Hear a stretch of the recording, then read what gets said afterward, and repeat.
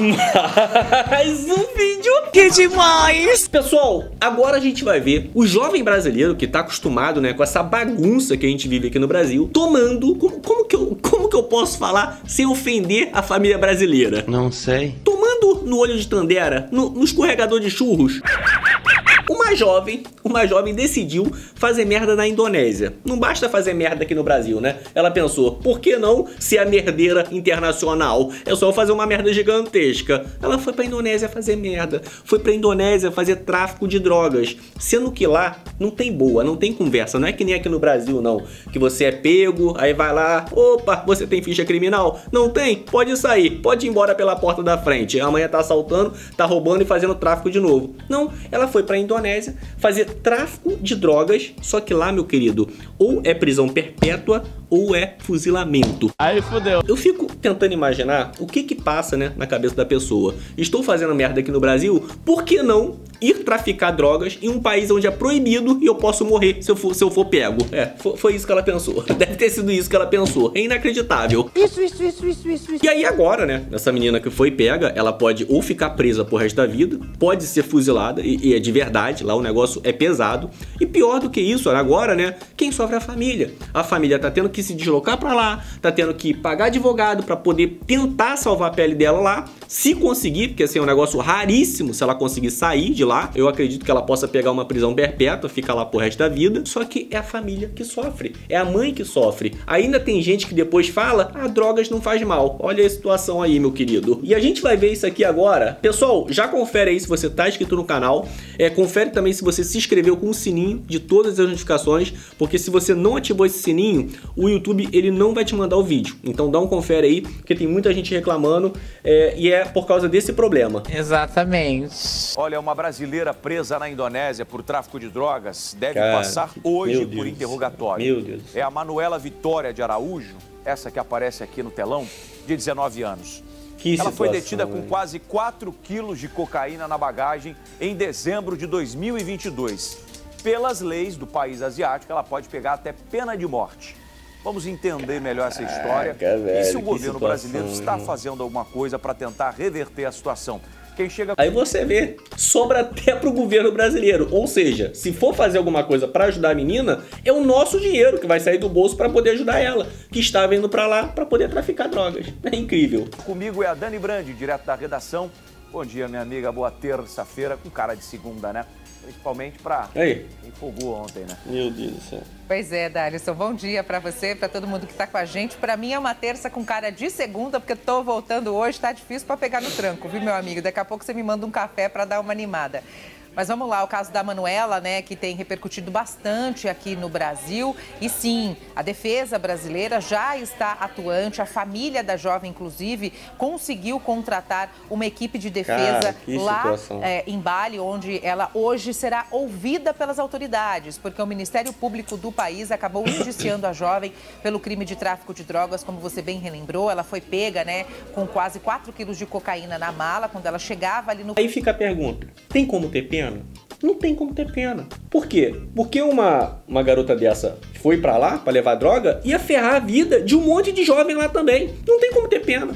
É, é brincadeira, velho. país. O advogado de defesa da Manuela disse que ela teve um envolvimento, conheceu é, integrantes de uma facção criminosa e teria sido ludibriada para fazer o transporte dessa Ah. droga sem saber Ah, que para levaria é, na mala Para com esse isso. entorpecente. Só falta ela falar: olha, eu não sabia. Pediram pra eu, levar uma mala, sei lá, de 50 quilos pra Indonésia. Eu não sabia. Sei lá, né? Eu achei que tinha, não sei, cogumelo, granola, açaí. Ah, tá de sacanagem. Só pode estar de sacanagem, velho. Sente. Em contrapartida, os criminosos teriam oferecido para Manuela uma estadia, uma viagem de férias e também aulas de surf. Por isso que ela foi para esse cara. lugar. Quando chegou no aeroporto, foi surpreendida isso, pela velho. equipe da polícia e acabou sendo presa. Ela está presa desde então e hoje deve ser ouvida pelas autoridades. Não é um julgamento, ela somente será interrogada para tentar se explicar e, claro, a defesa da jovem apresentar a sua linha ali de defesa. Agora, como você bem lembrou, As regras ali no país são muito rígidas em relação Não, ao ó, tráfico de drogas. lá- E aí ela pode sim ser, é, é, ter a condenação da prisão perpétua, pena de morte e no, no caso assim mais brando, se é que a gente pode dizer assim, ela pode pegar de 5 até 20 anos de prisão. Então tudo isso ainda depende.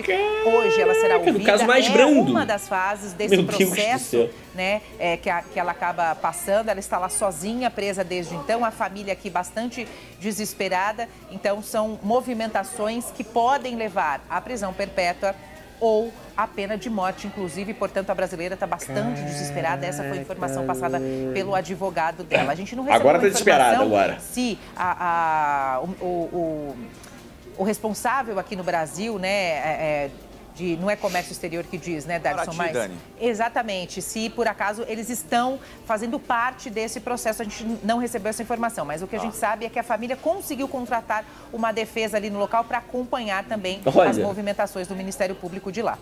Essa história é diferente daquelas outras duas brasileiras né, que tiveram as malas trocadas. Colocaram numa mala de drogas uma etiqueta com o nome delas. Elas foram presas na Alemanha até que, graças à câmera de segurança, que mostrou o funcionário fazendo a Não, mala trocada aí já é outros 500, né? A pessoa não teve culpa, a pessoa não tá sabendo nada de nada, né? Teve a mala trocada, pegaram e tinha alguma coisa ali dentro. Aí é outra situação. Agora, nesse caso aqui, não tem como. Ofereceram a ela aula de surf. Ela queria surfar. Ela queria pegar a brisa. E agora tá pegando a brisa lá, ó. a troca, elas foram é, inocentadas. né? E essa aí é a história de uma brasileira que né, sabia que ia levar alguma coisa para o exterior, É. confiou em troca de benefícios. Gente, tem aquela frase, ó. não E aula de existe surf. almoço Queria grátis. surfar. Você tem que tomar muito cuidado com o que é ofertado. Né? Um parêntese, eu me lembro de uma Pô, vez que a gente foi fazer irmão, uma cobertura de pelo SBT, fomos para a Alemanha e a gente estava num grupo de outros jornalistas também. né? E aí um dos jornalistas estava para perder o voo, porque ele estava num voo diferente do nosso, Dani. E aí ele estava com a case com câmera fotográfica. Ele falou: não vai dar tempo de eu despachar. Se eu for despachar a mala, eu vou perder o voo. Vocês podem levar junto como se fosse a mala de vocês? Não tem problema nenhum. É para já. Nosso voo era depois, a gente levou a mala. Só que chegando na Alemanha, coincidentemente, eles pediram para abrir a mala e a gente não tinha chave. E para explicar, né, para a Polícia Federal Aí alemã, toda essa história de que era de uma amiga, disse, não, falou assim, olha, aí chamou o esquadrão antibomba, veio aquele monte de policial, achando que poderia ter alguma coisa de errado e com razão. Né? Até Caraca, estouraram o cadeado e viu que era apenas é, câmera fotográfica e equipamento de filmagem. Ou seja, uma coisa que a gente não deveria ter feito, né? Perde o voo, mas você não pode assumir a responsabilidade por algo que você não sabe o que tem lá É. dentro.